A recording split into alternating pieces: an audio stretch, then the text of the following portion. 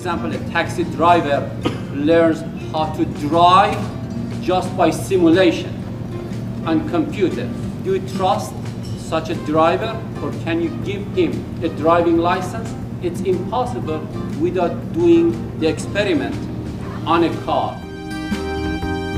Well, they're uh, basically from Hong Kong uh, VTC, they call this institute, and we have a program. Uh, RMIT uh, University is offering a mechanical engineering degree program there. Yeah. So they are all doing a bachelor degree in, uh, in mechanical engineering. Uh, it's an experiment of, uh, about the vibration, how to check the vibration of different structures and how it will, it will perform in the computer.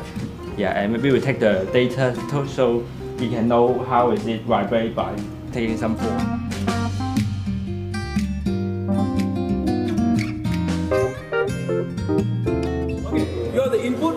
You're the output. You're going to change your frequency. You try to match him.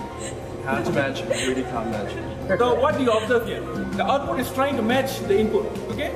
And he's trying to go faster and faster. That's what we say. The output is trying to match the input. So we have a frequency response.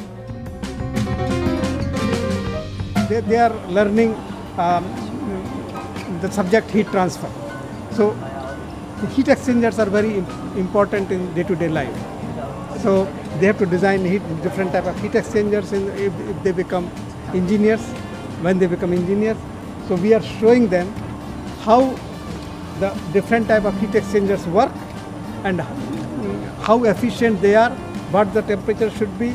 So they learn the working of heat exchangers. This machine is called the heat exchange test equipment, and we are doing the uh, heat exchange rate, the differences of heat exchange rate in different flow or different configuration. As you can see, this is the heat exchange pipe, and here is the heat exchange uh, plate.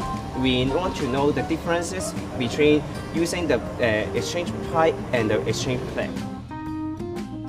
Collecting the data and calculate the differences with two different types of heat exchangers.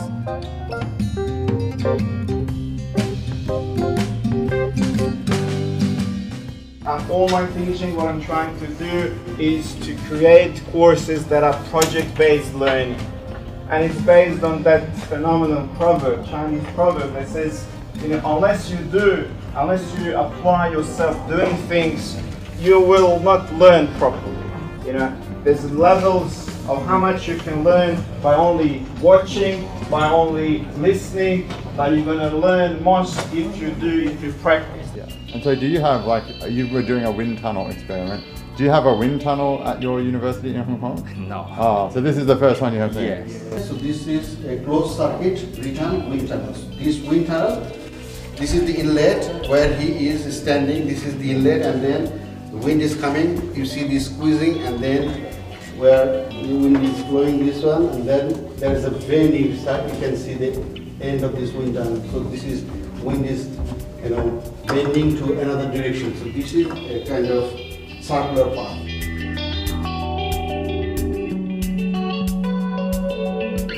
There are some holes, you see? Why these holes are there?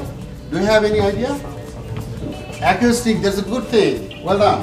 So, so acoustic purpose because there be a lot of noisy things like you know you see that if you speed it up like 120 kilometer per hour it will be like you know whole structure is like you know make, make noises like that.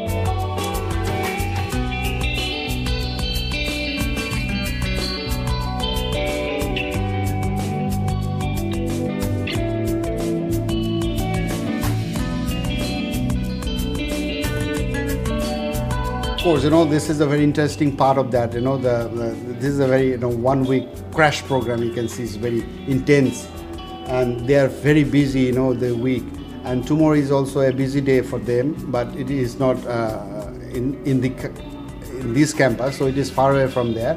So we have selected a you know industry industrial visit is called that is a part of our program and it will be a real life experience so this is academic things and that is a real life what is going on there so this is also very important and we organize each each visit that you know they will go their industry and then they can see the real uh, production is going on there so they can have a real experience.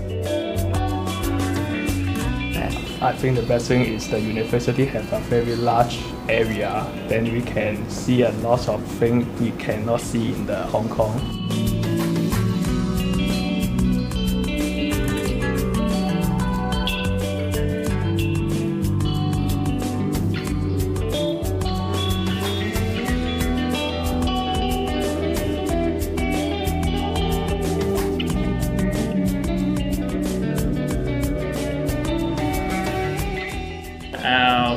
Students that study with us outside of Australia are a really important part of, of RMIT. It's something that we value.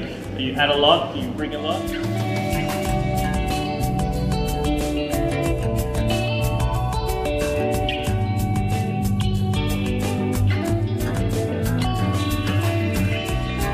So this is the practical, uh, what I already explained that you can see we have given them that, you know, experience, like, you know, first-hand experience, like live experience, not that simulation. Sometimes you can create some videos, but video cannot explain the everything, the real phenomena is going on. You have to touch it, you can see the vibration, you can see that machine, you can touch the machine, so that it's the real life experience. So this is very important for a student to know that you know real life experience